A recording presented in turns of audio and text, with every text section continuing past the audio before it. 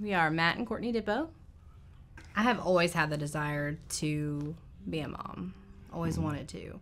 Growing up, I actually wanted to be a stay at home mom and raise kids. When we got married, we tried initially, probably for six months. So there was about a five year period from that point um, where we tried on and off. Matt had surgeries.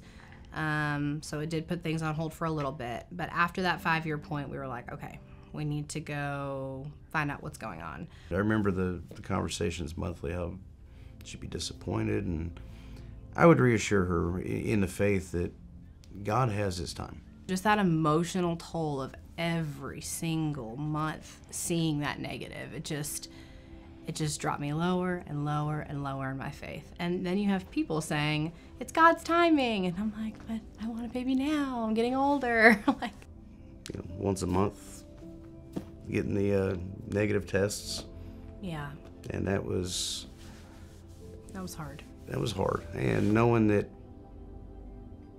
having to put blind faith into something, and I understood it from being in the military and knowing that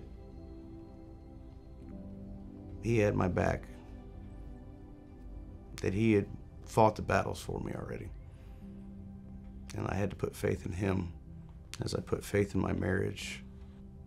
I, it's one of the worst things about marriage is it's watching somebody else suffer and you can't do anything to help other than be a shoulder to cry on and an ear to listen. Listening to her every month, it wasn't the words, it was the emotions that you could see in her eyes.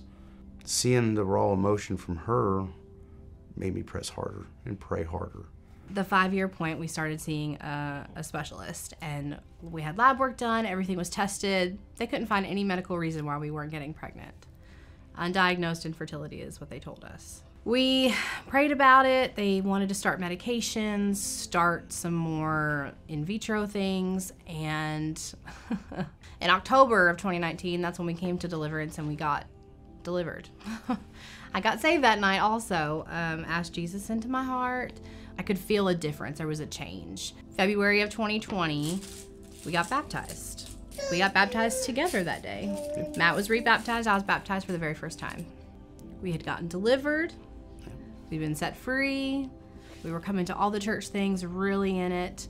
And a month after we were baptized, we found out we were pregnant.